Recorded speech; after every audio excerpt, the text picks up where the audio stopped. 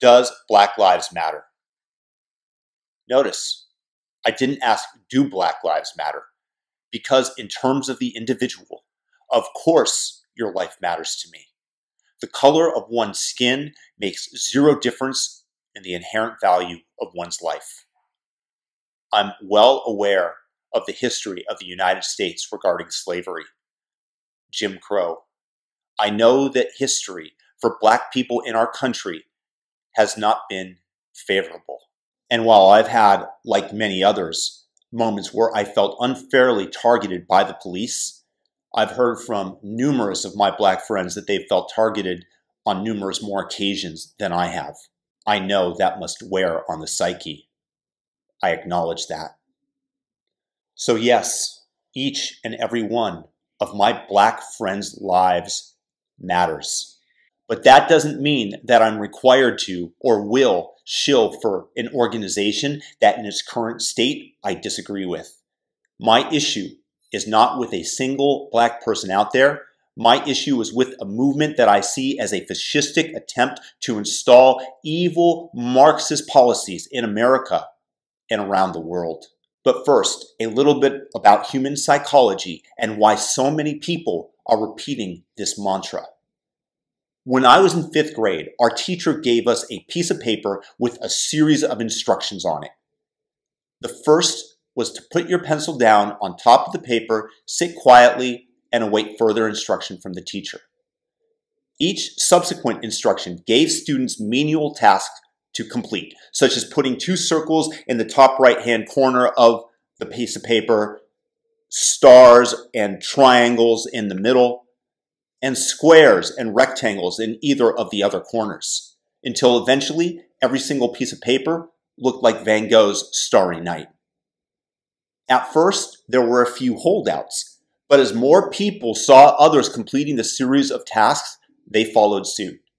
Out of 25 of us, there were only two of us, me being one, that stayed resolute in the face of others' actions with what we believed to be correct. As human beings, we follow the lead of others. Biologically, there is safety in numbers. The madness of crowds has been demonstrated time and time again throughout human history. Once again, I see that madness rising. I see it escalating. And I'm telling you not to put that black box on your social media page, not to follow the herd of lemmings over the cliff. At least before you do, investigate and know what you're propping up, know what you're supporting before you follow suit. Here is why I do not support the organization, underlying organization, Black Lives Matter. On their webpage, they state, we disrupt the Western prescribed nuclear family structure requirement. Right there, I can tell you something is majorly amiss.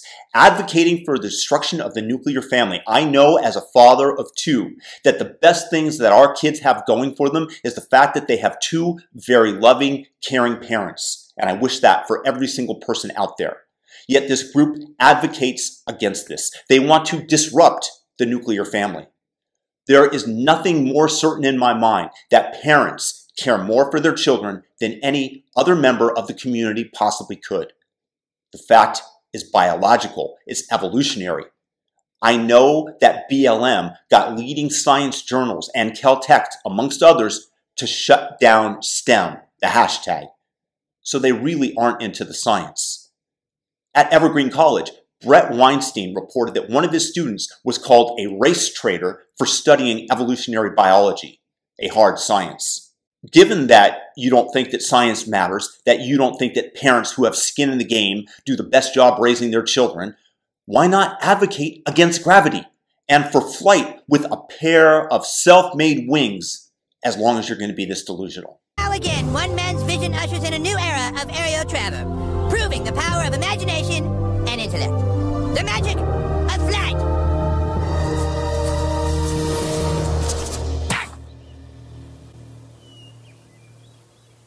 That doesn't mean that you can't have community members helping to raise the child. But the idea of disrupting the nuclear family, disrupting, again, that's their work, not mine. That comes directly from their website. is abhorrent, it's evil, it's absurd, and it's downright stupid. Sadly, since the 1960s, the rate of single parents amongst black communities has risen from over 20% to in excess of 70%, with absolutely horrifying results for the community. That's why it's not the neighborhood, it's why it's the hood. Do you want to try to disrupt my family, my neighbor's family, with an idea that has proven to be unviable in today's world? No, thank you.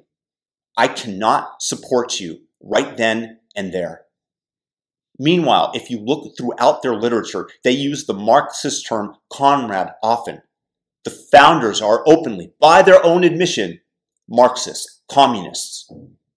I personally have lived in former Eastern Bloc countries, and I've heard the stories that people who were forced to live their life in communism, and their stories are horrific. If you want to hear the worst of the worst stories, then read the Gulag Archipelago. Or you can see it personally still today. You can see the nightmarish utopia as it took hold in Cambodia. You can still go to the killing fields and see the skulls piled up high and deep. You can literally pick bone fragments off of the ground in the killing fields. You can see the trees where they smashed babies' heads. And when you argue against communism, you might often get the response in order to create the utopia, you have to crack a few eggs. I have never seen the subsequent omelet. Have you? The group cites the death of Michael Brown as their catalyst. Without going into details of the case, the premise of this being a bad shoot is patently false, as proven not only in front of a grand jury, but also corroborated by Obama's own Justice Department and Eric Holder, who's a little bit of a radical himself. A movement that is founded on shaky ground and logic deserves extra scrutiny. But if this organization really did care about Black lives, they would be out protesting the Crips, protesting the Bloods, and the killers that are running around our inner cities, including the south side of Chicago, where in the most recent riots, it's managed to set a record for the number of homicides in a single day. Are congratulations for this record in order? Why not protest this? The number of dead in Chicago over the Father's Day weekend far surpassed the number of unarmed suspects shot by the police in all of 2019. That was in one locale. Why not go out there and protest them? Listen, what happened to George Floyd was horrific, and you won't find anybody to say otherwise, anything contrary. That cop was at minimum guilty of massive brutality and very likely murder. And I honestly can tell you that I cried when I saw it. It was that horrific. And I'm sure that other people experienced the same emotional reaction. But how do you know for sure that it was racial? How is this evidence necessarily of systemic racism? Maybe the cop was just an asshole some policemen are, unfortunately. I've had that thought with my run ins with the cops. The narrative that they are trying to portray that blacks are disproportionately killed by police is false. A Harvard economist, Ronald Fryer, who is black, by the way, completed a study where he entered in with the presupposition that blacks would get unequal treatment from the law regarding the numbers that are killed what he actually discovered was that black suspects are around 25% less, less, less, less likely to be shot than their white counterpart suspects are. And in the most egregious situations where officers were not attacked first, but nevertheless fired their guns at the suspects, they were more likely to do so when the suspect was white more whites are killed by the cops each year, both in absolute numbers and in proportion to their contribution to crime and violence in our society. That, those are the facts that Ronald Fryer discovered. So it's a false premise that they are going under, that there is massive police brutality today, not in the past, but today against black people. I'm not saying that it doesn't happen. It does. But let's really examine the statistics behind the premise because their premise works every, in every way except for statistically. in addition to wanting to obliterate the police, to put them out of commission, which would most negatively affect poor black neighborhoods around America, much as what take, took place recently when the police stood down and murders, looting, and rioting damaged the very businesses that provided jobs and meaning and economic prosperity in their neighborhoods.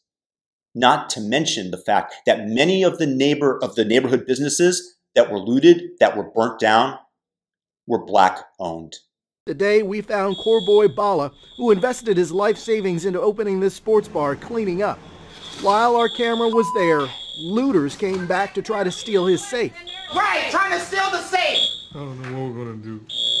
We worked so hard to get here. Another argument that I have with BLM is the fact that they want reparations not only for descendants of slaves, but for all black people who immigrated here from Africa just due to the color of their skin. I wouldn't agree with reparations to begin with. I didn't even have a single relative in the contiguous United States in 1865. But you want to rob me of my money when I did nothing wrong in the form of some collective guilt due to my skin color?